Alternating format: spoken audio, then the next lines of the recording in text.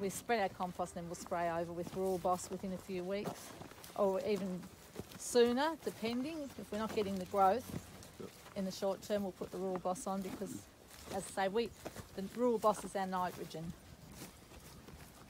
And that's mainly through the nitrogen fixing bacteria and drawing nitrogen out of the atmosphere.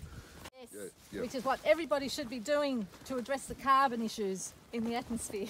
Yeah. If all of us farmers started doing Yeah, and a lot of, of a program instead, we wouldn't have any. a lot of farmers don't recognise that you know you can actually draw nitrogen out of the atmosphere if you've got nitrogen fixing bacteria, That's right. um, and it's free basically. It is. Yeah.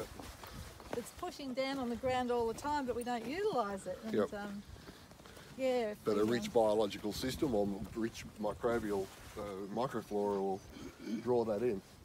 That's right. Yeah.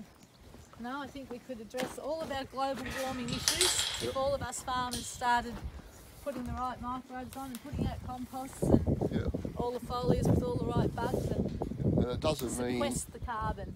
it doesn't mean a loss of profitability. And I think it's the, for some of them it's the scary. Like they're afraid Yeah. that if they go to a more sustainable, I'm going to my production's going to be down, but that's not the case. No, it's not the case at all. It's actually the opposite. There's a whole lot of free stuff in the air that we could be utilising Yep. if we just use the right fertilisers and composts and foliars. So, yep, it's carbon farmers. That's what we need to become carbon farmers. Well, I once heard it said that you're really not farming crop or anything. You, you should be farming microbes. That's right. You know. Microbes, uh, I've been saying it for years and years and years, but they're this huge untested quantity that we've got, and I believe they're the way to the future of farming. Microbes are definitely the way to the future, even in our cattle health and everything.